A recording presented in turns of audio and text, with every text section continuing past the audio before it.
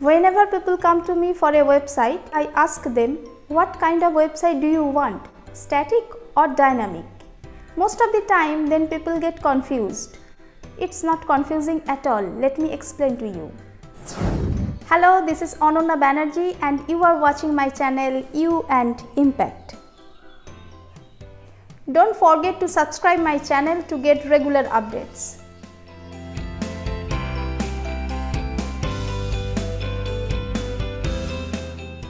Static or dynamic are told on the basis of website content. Static content or dynamic content.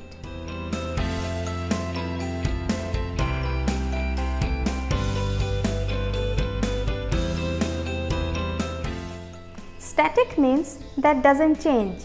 So in static website, you don't have any option to change the website content like photos, videos, text, etc. The same content that was given during the time of website launch will remain unchanged forever unless you call a developer to change it time to time.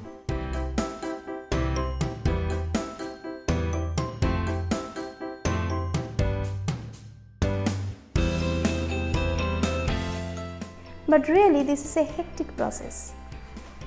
In contrast, if your website is dynamic, then you can change the photos, videos, text, etc. by yourself whenever you want.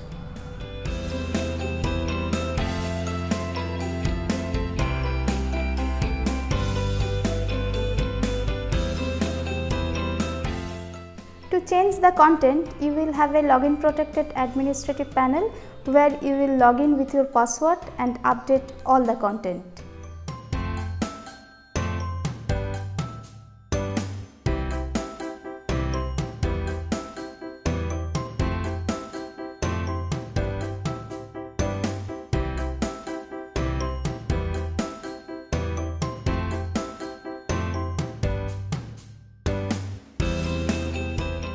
It's like the way you post photos, videos in social media.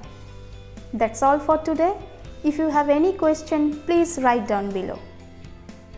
Please like this video if it is helpful to you and share among your friends on social media WhatsApp groups so that it may help others as well. See you in next video. Bye.